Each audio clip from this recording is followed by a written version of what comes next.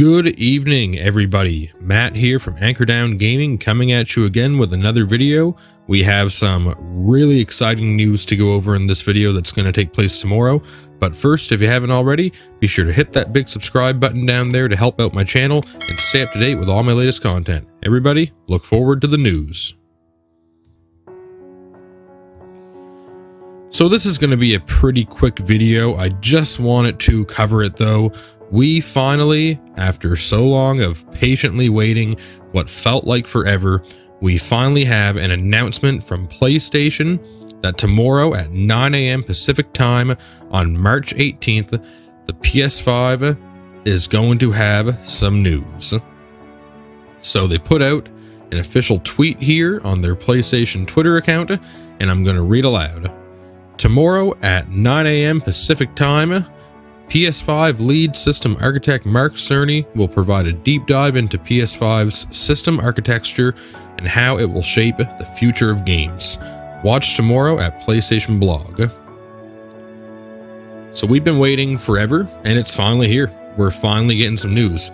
Now, it doesn't really specify how big this uh, event is going to be. It doesn't really specify that it's, you know, like a big PlayStation 5 reveal but it does say here that we're going to get a deep dive into PS5's system architecture. So what I think this means is I think they're going to show what the system looks like so we can finally have that out of the way.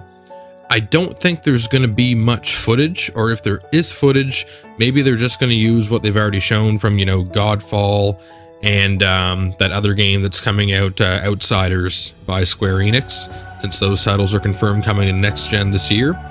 So I think they might show those, but I think they're more so going to just go over the specs of the system. Um, Xbox has been showing all kinds of stuff on the Xbox Series X. They're not holding back on anything. They're keeping the momentum going. And the heat's been on Sony now for a while.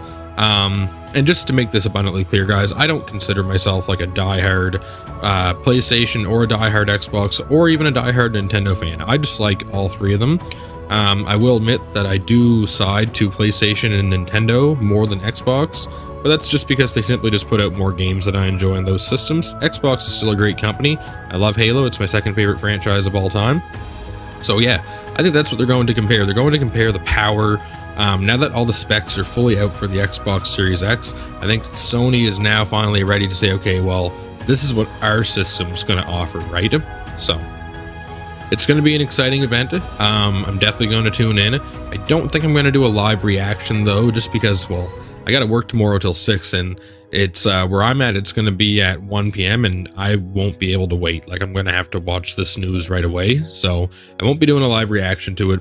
But with that being said, look forward to the event, guys. It's definitely going to be uh, one to remember for sure since we've been waiting for so long. With that being said, everybody, thank you for checking out this video. Be sure to uh, follow me on Twitter at Anchordown902 and on Instagram at Anchordown Gaming. And until then, everybody stay safe and have a great week.